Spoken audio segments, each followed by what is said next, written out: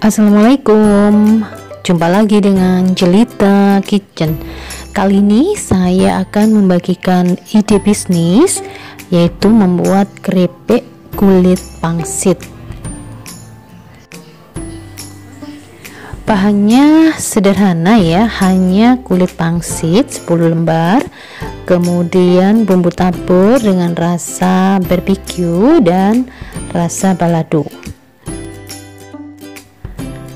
caranya kita potong-potong kulit pangsit seperti ini ya. Pertama kita jadikan dua kemudian kita potong lagi menjadi empat bagian. Kemudian kita potong kecil-kecil. Lakukan sampai habis ya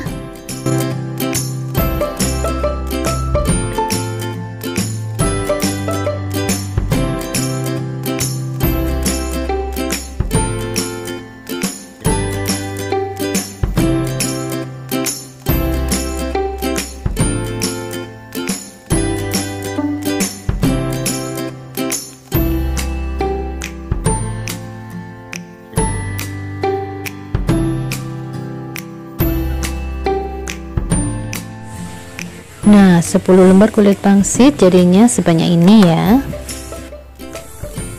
Kemudian kita goreng dalam minyak yang banyak dan panas ya supaya dia uh, mengembang.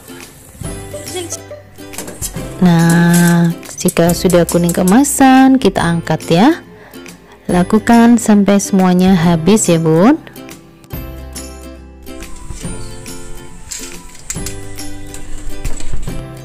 setelah uh, semuanya dingin baru kita taburi dengan bumbu tabur ya. Ini,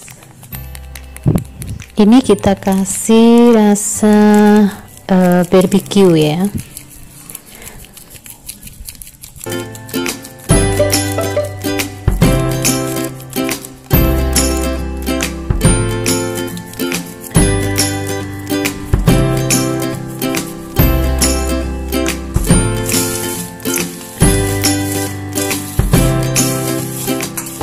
kita campurkan hingga rata ya.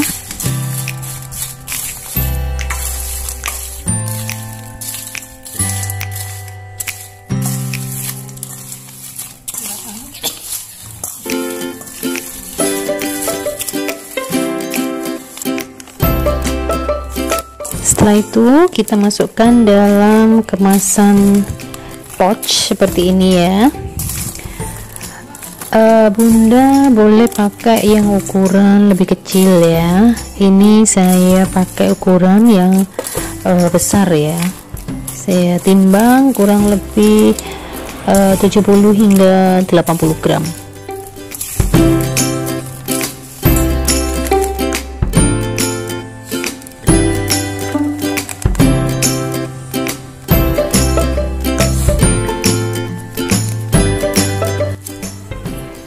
yang ini kita kasih rasa uh, balado. Kita lakukan seperti tadi. Kita campur hingga rata. Baru kemudian kita kemas ya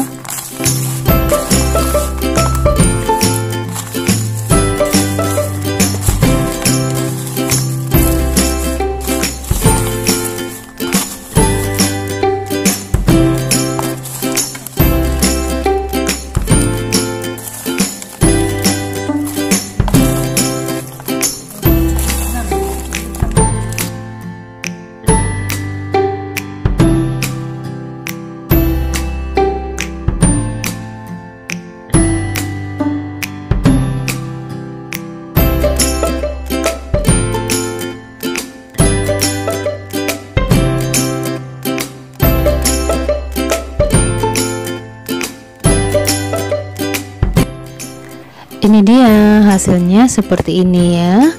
Bunda tinggal kasih uh, lapel aja ya. Oke okay, semoga bermanfaat. Jangan lupa like subscribe dan tekan tombol lonceng.